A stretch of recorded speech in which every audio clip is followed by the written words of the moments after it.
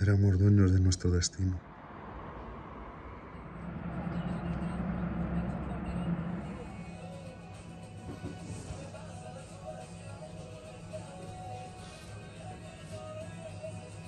Sí, bajo control, bajo control, bajo control.